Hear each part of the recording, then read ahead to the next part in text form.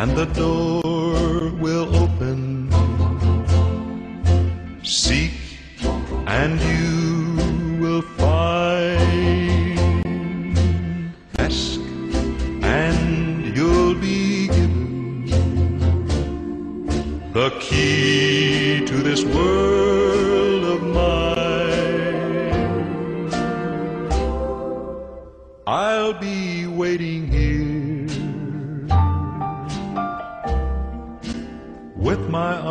arms unfurled, waiting just for you. You imagine you buying a land for an acre of land for six thousand dollars. By the time you reach by the bank, you're telling the bank, I have about a hundred thousand dollars. I normally say that Mr. Daniel didn't just help with housing development, he helped to enrich Nevis. And as a result of that, a lot of people in Nevis are where they are today because of the land. As we continue our series of interviews under the caption Sim Remembered, we're honored today to have the former director of Agriculture in Nevis, Mr. Augustine Merchant, and for the last 12 years he has been the St. Kitts Nevis director of IICA, the Inter-American Institute for Cooperation in Agriculture. And the legacy of Dr. Simeon Daniel by Washington Archibald has become very useful in these times as reflect on the life and times of the great Nevisian leader. And Murchie, over the years, you've told me about Washington Archibald working on this book because his Project Strong office in St. Kitts is located very closely to your IICA office. Tell us about the workings which led to the legacy of Dr. Simeon Daniel. It's a pleasure being here, I must say. And uh, even though it's it's uh, bereavement, I suppose that uh, we should have some sort of joy, knowing that Mr. Daniel came, he worked, worked tirelessly for Nevis, and he has gone on. So there is some joy in that. But uh, as I say, he has been a tremendous person. And I think that Washi, with his experience, identified that he is what he is. And I think that he told himself, and uh, he has spoken to me about this on several occasions, I have to do something for Sim. I have to write a book so that even when he's gone, at least people would be able to take up this book and they would be able to read about him and would be able to know about him. And I think that, as I said, it was a work in progress when I went to St. Kitts and he would tell me about it from time to time. And uh, as a matter of fact, he had asked me to indicate to him my view on certain matters and so on. And, but now the book has come out, as you said. It is very timely and it has meant much to the reading material for Nevisian. And at least we have something which we could say. We could look back on people generation coming after could read about him and could know about it. Now, one of the features of Dr. Simeon Daniel was that he earmarked or handpicked some persons for certain positions. I interviewed my brother Hansel last night, who said he got a call out of the blue on a Sunday to, to, to be first chairman of the Bank of Nevis in 1985. Now, you had a similar experience, and I'm going to go to the book and to page 136, where Washington Archibald says that Augustine Merchant is one Nevisian who holds himself indebted to Premier Daniel. Merchant grew up a poor Nevisian boy who learned his school lessons and became a teacher. He loved teaching and went to Teachers College. When he had completed his training, he was posted to the Charlestown Secondary School, where he discovered that he was endowed with two important attributes his prowess in cricket and his interest in agriculture. He was a good cricketer. His giant, gigantic size enabled him to bowl at a devastating medium pace. I don't know about that. and hit the ball to the boundary with uncommon ease. In one match that he played against St. Kitts, his performance was outstanding, and the next day his cricket exploits were the general talk among Nevisians, including newly installed Premier Daniel. So I imagine that's somewhere around 1983. I, I can't say that I remember the outstanding innings, but I- tell us about. I- maybe I could tell you. I remember, I I won a game for Nevis. That we we were down to one ball, one wicket, one run. And remember, I scored that run and was lifted off the park in St. Kitts. I do remember. You jogged my memory. But it says that Premier Daniel actually went to meet him and congratulate him on his spectacular performance. Tell us about that meeting. Premier Daniel, he loves cricket. In his own quiet way, he loves cricket, and I suppose that he he may not be one of the greatest Nevis, Nevisian cricketers, but he liked cricket like most Nevisian. Uh, and at that time, everybody in Nevis loved cricket, and we had a team which all of us were proud of, and we always looked out to see and to hear what they are, are doing. And uh, as I said, Premier Daniel, he loved his cricket. And I su- suspect that part of my call, and I will talk about that a little later, was maybe he, him listening to cricket, hearing maybe my feet on the cricket field and so on. But coming to the question you asked previously, I, it was a Sunday Dr. Daniel came to see me. And I was over in Newcastle. We were playing a cricket match against Newcastle on that bit of land right at the end of the airport there, where um in Queely. Queely lives. Yeah, Mhm. yeah. We were playing a cricket match there against Newcastle. And when I got back home in the evening, my mother told me Dr. Daniel was there to, to see me. So I said, what for? Did he leave a message? He said, no, he just came and said he wanted to see you. So I said, okay, I think I need to see him because I have a matter to discuss with him. So I would go and see him first thing on Monday morning. So I, on the Monday morning, I got dressed, went into Charlestown, and when I got there, there were a number of people there. At that time, you know, Mr. Daniel had just got in power, so everybody wanted something done. They were at the administration building and so on. And uh, when I got there, I said to myself, boy, with the amount of people here, it seems as if I'm going to be here for the whole day. I went right down into the conference room, and I stood between the doorway there. And uh, he was inside with somebody looking after them. And uh, when he came out, he looked right down and he saw me. And he made some sign. And I thought that he was talking to somebody else because, after all, and maybe I should say here, I can't remember talking to the premier before that. I don't remember talking to him. He would have known me because of cricket, but I can't remember speaking to him before then. So he came over there. I went to see him, as I was saying, and he made sign and he asked me to come. So here am I, passing everybody who I met there before, went inside the room there.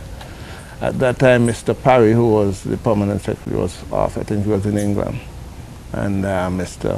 Walwyn, Ira Walwyn, he was the permanent secretary. Just before he retired, he came over here for a short while. And he called him in his office and he said, this is the man I've heard so much about. I don't know who would have told him about me. Maybe it might be Mr. Swanson because Mr. Swanson was my neighbor. And your representative. Uh, my representative. yeah, so I, so he said, this is the man we have heard so much about because I'm not blowing my trumpet. I, as I said, I grew up a poor boy. Did, went to, uh, didn't have the opportunity to go to high school, but when I did go, I, I only spent two years there, but made fantastic, you know, Strides. strides during those two years I spent there. Left, and I should say that at the end of it, I got enough. They told me that I should see the, the headmaster of the sixth form in St. Kitts. But my mother couldn't send me to Charlestown. I don't think she would have been able to send me to Basseterre. so I went to teachers training college. And, and uh, this is one of the first I'm going to say here now. I am one of the few people who are teachers training college who went from year one to year 3 One of the few persons in St. Kitts and Nevis who would have gone from year one to year three at the St. Kitts and Nevis Teachers Training College. And so when they completed that and uh, went to Guyana and come back and so on. So Mr. Daniel started, he said, uh, I wanted to be in charge of my department of agriculture. Uh, there was a gentleman who was in charge and he was transferred, so the post was vacant. So there was quite a lot of noise. Oh, you're going to take this man out of teaching where I was doing quite well, and so on and so on and so on. And but I had nothing to do with it. Mm-hmm. Mr. Daniel was the one who told me. And so the other thing I should dare say too was that at the same time, another job was offered to me in St. Kitts because at that same time, I was the only person in St. Kitts and Nevis who had a teacher's training college and was trained in agriculture. I was earmarked to be the person in charge of agriculture in all the schools in both St. Kitts and Nevis. And so Mr. Daniel decided he wanted me, and there was some pulling and towing. Eventually, Mr. Daniel had his way, and I went to the, depart- to the department. But before I went, I told Mr. Daniel, Mr. Daniel, I don't, I don't think I want to, to be there. I want to go away and study. Because coincidentally, the Saturday before Mr. Daniel came to see me, I had received confirmation from the University of the West Indies to go there. So when my mother told me he came to see me, I was glad because uh, I have something to ask sure. him, so show him and ask him about. So I said, well, Mr. Daniel, I just got admitted to the university and I want to go to, he said, man, don't be too quick, don't be too quick. I give you one week to make up your mind. One week to make up your mind. I said, I want to go to university. So I left and I went and I consulted a few of my friends and, you know, they told me, boy, you know, you can't go to university and you know, university costs a lot of money. And those days I didn't have it. So I said, okay, I'll tell him I'll work for one year, but I want a scholarship. So I went back quickly. I said, Mr. Daniel, I want to go away to study, but I'll work for a year. But at the end of the year, I want a scholarship. So he promised me that I will get a scholarship, and he lived up to, to his, his promise. And uh, I, so I told him that the university, I will have to inform them that I will Walwyn told me that the then registrar of the university and him were at college together and he knows her personally. So he took it upon himself to send a fax off. So those days they didn't have fax. Send off a message to her to let her know that I wouldn't be coming mm-hmm. again. And so the next year. So that was my going into the Department of Agriculture. And as I said, Mr. Daniel came to Zion to look for me.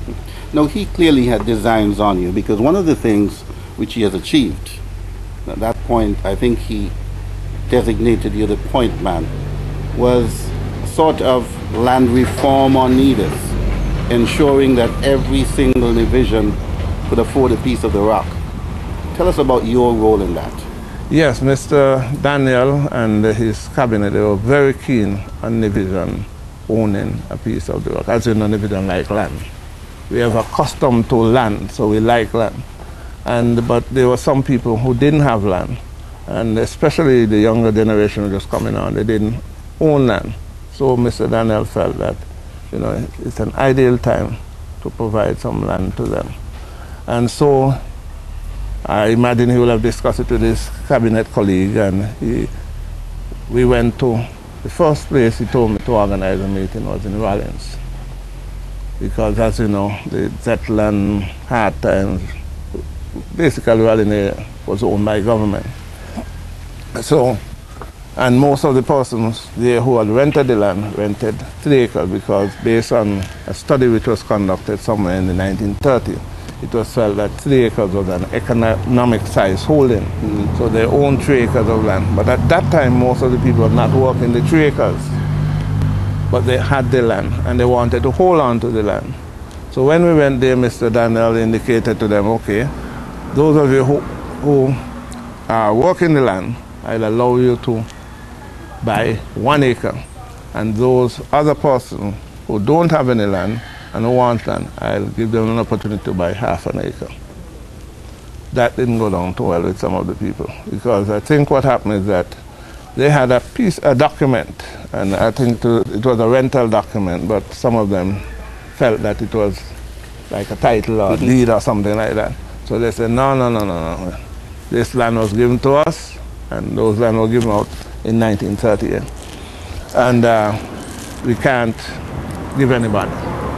So Mr. Daniel left there, very disappointed, but he still didn't stop. He wanted to make certain that people get land. The next place he went to was Fothergill. He asked me to organize that meeting, and the meeting was held in, in Fothergill. I could remember you had people like Meredith Brown, Starrad, Delval Rollins, all those guys, young guys, came to that meeting and indicated that they wanted land. So they agreed. Now the point now was how much the land would cost. I said, how, how much you all willing to pay? How much you all willing to pay? And nobody wanted to. Somebody shouted 6,000 in the back. And I said, see me if I heard something, what was it? The person who shouted $6,000, he knew it was a ridiculous price. so he didn't even repeat it again. So Mr. Daniel said, it seemed as if I heard 6,000. Somebody said, yeah, this fellow behind there says 6,000. So. Daniel said, okay, pay $6,000 per acre. Half an acre, 3,000. Give your name to Mr. Martin, he'll give your name on onto the surveyor, Steele Douglas, and just keep in contact and you have the land. And that was where it all started. Then you have people in Butlers, Edenbrown, mm-hmm. both sides of the, the church, where the church is over there. Like people like, I could remember vividly, Mr. Nicholas Busu. He's got his land there. I remember he got a first piece, he got a second piece right across there. And uh, down at Whitehall, where the old Whitehall school was, those people, the Swanston live going down there and so on. Nisbet settlement. Yeah, Nisbet mm-hmm. settlement and Brown, uh, Prospect and all those areas. And so it was not confined to just a particular area in Nevis, was throughout Nevis. So in a way, we can give him credit for housing developments like Hickman's, Fothergills, which are which make us all very proud, and areas where traditionally people did not live but were set out for pasture. Well, I could tell you this, that uh, at around that time, people in Hickman were asking to get out of Hickman. Wanted to move out of Hickman. Too far down the road. Too far down the road, but then after people started buying the land and moved on, they didn't want to move now. And, uh, you know, you said that, you know, he could be contributed for housing development in, I would say housing development throughout Nevis because those people who didn't buy the houses or build their houses at that point in time, they had the land and the value of the land appreciated. You imagine you're buying a land for an acre of land for six thousand dollars. By the time you reach by the bank, you're telling the bank, I have about a hundred thousand dollars. So, you know, it was a big beginning. So I normally say that Mr. Daniel didn't just help in housing development, he helped to enrich Nevis. Mm-hmm. Because people were able to use that land for collateral, collateral, use it for varied form. And as a result of that, a lot of people in Nevis are where they are today because of the land. And you contrast that with St. Kitts, where on the radio talk shows, you hear constantly how difficult it is for people, especially young people, to get a piece of the rock on St. Kitts. Not only get a piece of the rock in St. Kitts, you get 4,000 square feet of land, you get a lot of land. Mr. Daniel was giving, selling people one acre, half an acre, and those kind of sizes there. In St. Kitts, 4,000.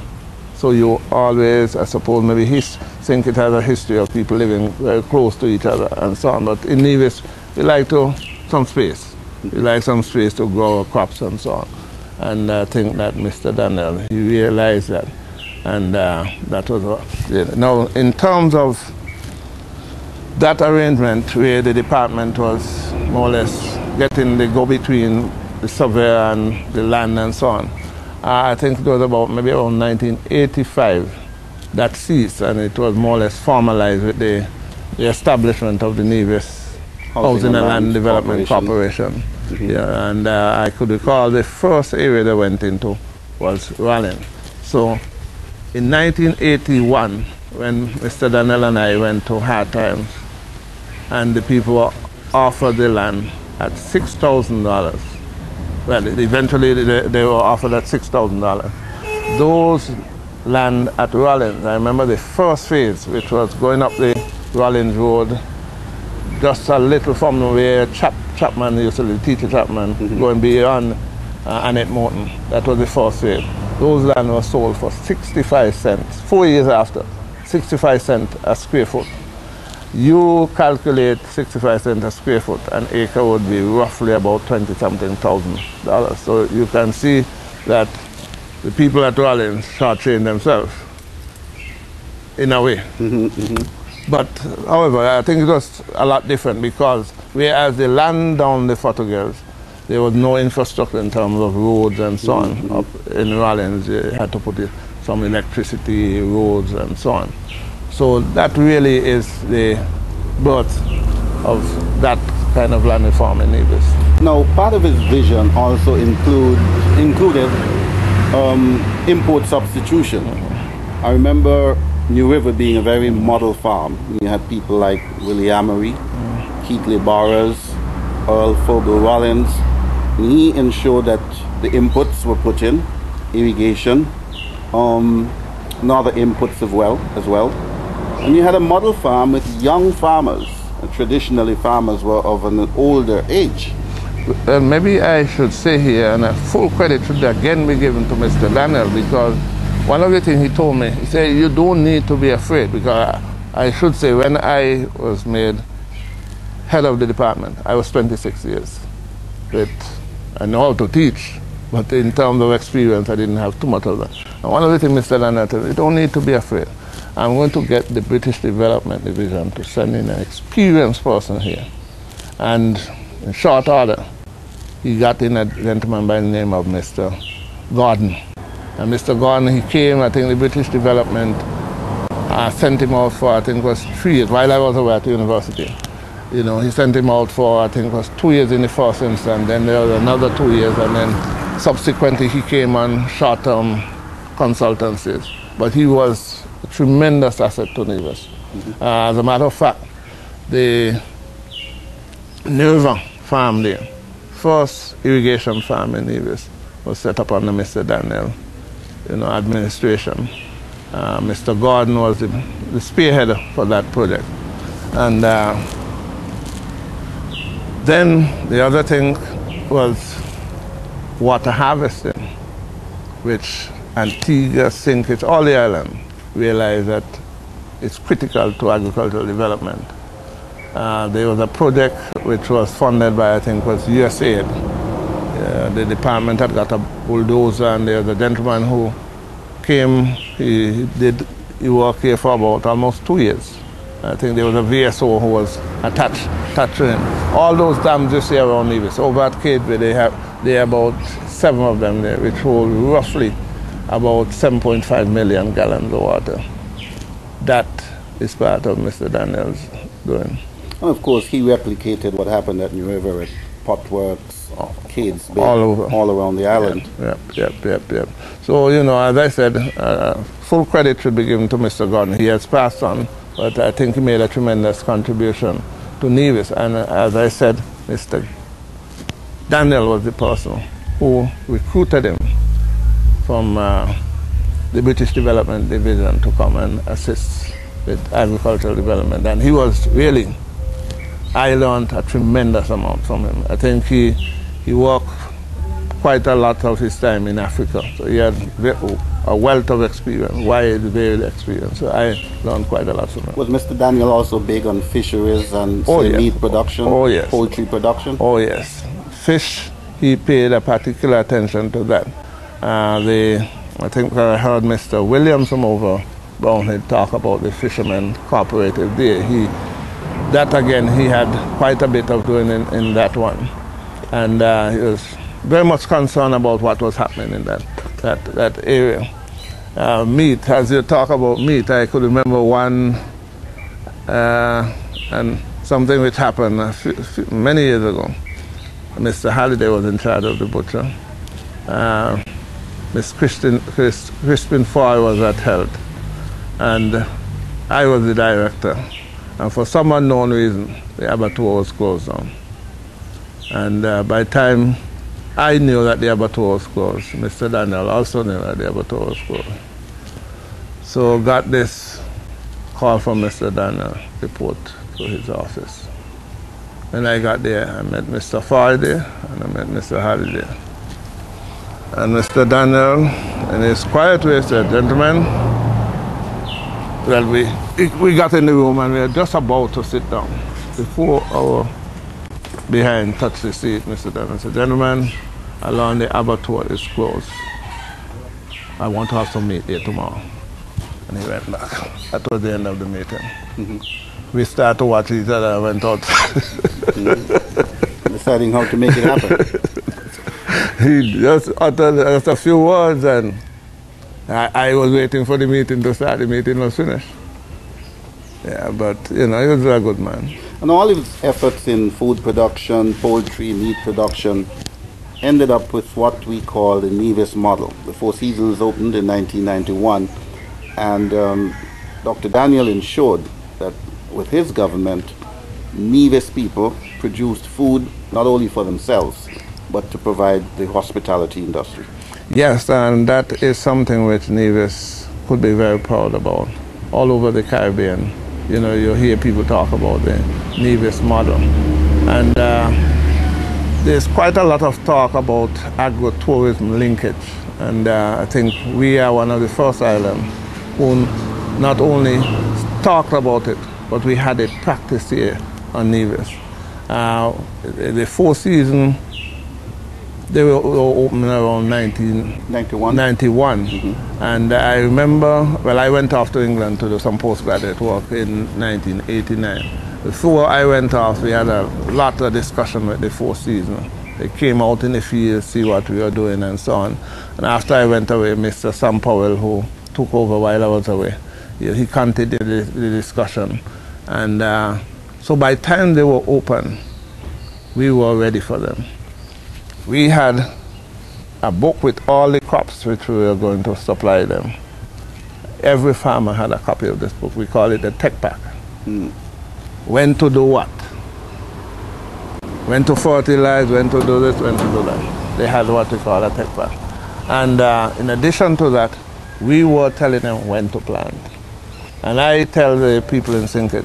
that I really should give compliment to our farmers here on Nevis because during the period 1991 to 2000 when I left, every Thursday, last Thursday of the month, barring none, a meeting was held at the Department of Agriculture. You didn't have to call farmers. They look forward to it.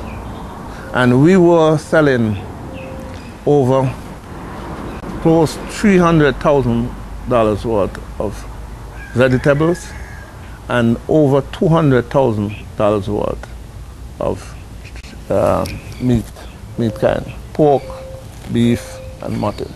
So all told, we were doing from, I have the figures right at my office, and uh, here I want to com compliment all those guys who work with me. Uh, Danny Atherton, Sidney Newton, the Honorable Roberto Hector, and all of those guys who work with me, you know, they, we had it precise. Every week we meet, we decide what was going to happen, we do our forecasting and so on, and down to Four Seasons twice per week on Tuesday and on, and on Friday. I could remember vividly the first uh, first time we were going to supply to the hotel after it opened. When we got down there, apparently Four Seasons didn't have any confidence in us. So they ordered stuff, the same stuff we were going. Mm. And uh, when I reached there, they called me and they said, we have a problem. So I went down there and the guy was a bit indifferent. So I called Mr. Parry, who was then the Minister of Agriculture. And uh, I said, Mr. Parry, so and so the problem. And Mr. Parry quickly scribed a letter Four Seasons sent up three of the top people to his office, and he told them, "No, son, Tom, they have to buy this Locally. stuff." And that was the end of it. Yeah. Never, we never had any problem after that. Oh, minimal. So that was born under Mr. Daniel administration, and uh, his idea was that they came in, they were given certain concession to build, and there's some way the people of Nevis, the poor people of Nevis must get something. And getting something was buying the food from the small farmers. Now, Emmentine Thompson is my favorite farmer. Would you say people like her came out of the Daniel experience? Well, let me tell you something. Emmentine is a lady of my own heart. Hard worker, innovative, and she tries everything. She came out of that. I could remember when Emmentine started farming. Emmentine didn't have drip, basically didn't know anything. But today, I would tell you, Emmentine is one of, if not the best farmer in the Federation. Now, um, after Dr. Daniel left politics, he became a bit reclusive. Um, but you were telling me earlier that you have sought to stay Oh, in yeah, contact oh, oh yes, we have, we have always been, been in contact. As a matter of fact, as a matter of fact, as you know, I was ill about two years ago. And uh, after being hospitalized here on Nevis, I then went up to the United States. Dr. Daniel called me in the United States to find out how I was doing. Even when I returned home, every week, Dr. Daniel would call my home. How are you doing? How are you doing? As I said, we, apart from work, we got on quite well. I would go by his home up at Brescia and also his hideout Ramsbury. and in Ramsbury. And I was telling somebody earlier, on, uh, I went took by him some time ago, and as you know, my, one of my daughters is a lawyer, and he said, I heard one of your da- daughters is a lawyer. You haven't brought her to see me. You have to bring her here. So I, day or two after I took her there, and he lectured her and gave her a copy of signed copy of this book and said, "This is for me." Now, it is a truism that a king has no honor in his own country. Um, he's gone now. Understand, maybe laid to rest next week. Have the visions really got the true measure of this man? Well, I do. I do. And uh, I was telling somebody last year, I was honored by the division in Washington, D.C. And after receiving my plaque, one of, you know, I had, they asked me to say, say a few words. And one of the things I did, I gave tribute to Dr. Daniel. I say, he was the person who gave me the opportunity. Well, if he didn't, I wouldn't have been able to do what I what I did. So I have to really give him full credit. And I suppose they say sometimes you're not recognized until later on in life. But I think when Nevisians sit down and recall all the the good things which Mr. Daniel have done, and there are some who would talk about bad things, but who hasn't done bad? There's none who is all good. So you just have to put aside those and think about the good things he has done for Nevis. And I would say that those far, far outweighed whatever negatives some people might want to add. Thank you, Mr. Merchant, for speaking with us. Of course, there's something called revisionist history. It is surprising that in modern day Nevis, and probably coming after the biography of Mr. Whitman Browne, from commoner to king, that of Robert Llewellyn Bradshaw, that people have begun to see him in a different light. I have no doubt the same will be true of Simeon Daniel. He has meant so much to so many. May he rest in peace. And the door will open. Seek and you will find. Ask and you'll be given the key to this world.